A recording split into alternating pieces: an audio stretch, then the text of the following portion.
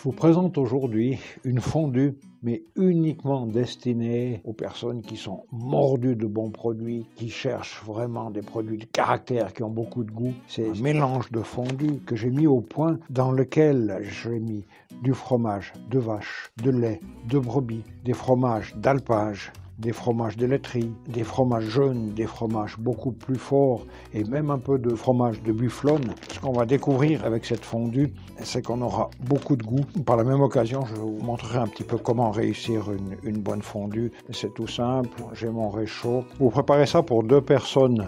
Ça veut dire qu'on va mettre 400 g de fromage, c'est des sachets de 400 g, 2 décis de, vin blanc. Je prends toujours un vin blanc qui, qui soit sec, c'est ça l'important. Au départ, vous pourriez rajouter une gousse d'ail, ça, donne aussi encore un, peu plus de goût. Je peux mettre vraiment à fond mon, réchaud. Je vais attendre quelques secondes pour porter à ébullition le vin. Ça fait plus de 10 ans maintenant que j'essaye de, mettre au point ce mélange de fondu. Euh, c'est vraiment pour arriver au, bel équilibre et chaque année, ça changeait un petit peu. Chaque fois que je faisais des tests, ça changeait un peu. Aussi parce que le fromage est une matière vivante et puis quand on déguste un fromage aujourd'hui, il n'aura pas le même goût dans 3 jours. Donc, j'ai mis mes 2 décis de, vin, ça arrive à ébullition et simplement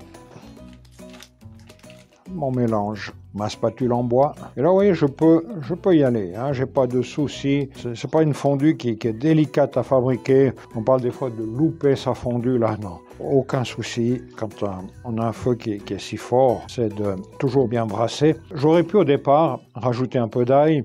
Je peux aussi à la fin rajouter une petite tombée de kirsch. Ce sont des habitudes de, chaque endroit.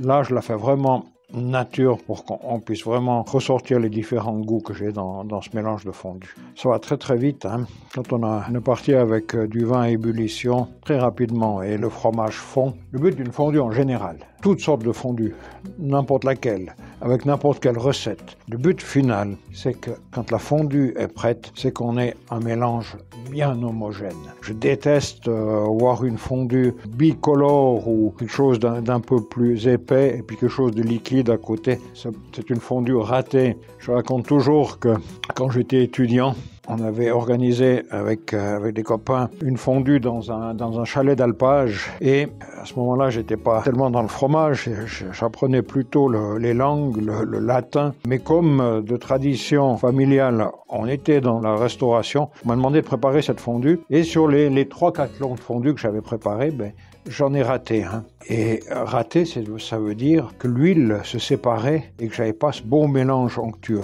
Alors je relativise la chose parce que dernièrement, pendant les, fêtes de Noël, j'ai vu une vidéo d'un chef de la gastronomie française qui expliquait comment réussir une belle fondue. Et quand j'ai vu le résultat de sa fondue, ben, ça m'a fait penser à la fondue du temps où j'étais étudiant. L'huile se séparait et pour moi c'était une fondue ratée. Ça va vite, hein. là j'ai déjà un beau mélange onctueux. Et si par hasard, quand vous faites cette fondue, vous vous rendez compte que le mélange se fait pas bien ou que, l'huile se sépare un petit peu, vous avez toujours un petit peu de vin, vous pouvez rajouter un peu de vin. Si quand vous avez presque fini et que vous regardez votre fondue et puis qu'elle serait peut-être trop épaisse, de nouveau, vous pouvez rajouter du vin. Sachez que dans mon mélange fondu, on a toujours une base de liaison. Hein. Ça peut être la farine, ça peut être la fécule, qui permet de faire la bonne liaison des fromages. Là, aucun souci. Hein. Je peux la porter à ébullition, il n'y a pas de problème. C'est pas une fondue qui souffrirait de, cuire. Hein. Mais là, elle cuit pas encore. Là, elle arrive prête. J'ai un bon mélange crémeux. Je me réjouis de la, déguster. Déjà, les odeurs sont, intéressantes. À mon avis, elle est prête. On va, on la déguster. J'ai même trouvé un pain euh, cuit au feu de bois et avec un bon croustillant. Pour, la fondue, le, pain, il n'est pas nécessaire que le pain soit ultra frais. Mais, un bon pain blanc fait l'affaire. Hein. ça.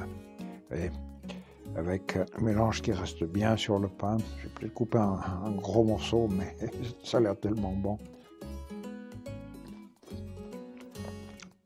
C'est savoureux. En entrant en bouche, c'est le chèvre qui a pris un petit peu le dessus, puis après en le mâchant, eh bien, ça s'équilibre. Voilà, puis quand vous mangez une fondue, chaque fois que vous vous servez, profitez de, bien toujours remuer pour que la fondue reste toujours bien onctueuse. C'est très bon. Vous avez la possibilité de rajouter un, petit peu de poivre du moulin. Ça donne aussi encore un petit peu plus de force. Mais je le répète, c'est une fondue de caractère. Hein. J'ai un mélange de fondue de base chez moi dans mes préparations. Celle-ci est vraiment destinée aux gens qui aiment le fromage avec beaucoup de goût. Je vous souhaite déjà beaucoup de plaisir à la dégustation de cette fondue et bon appétit. Oh, oh c'est bon ça.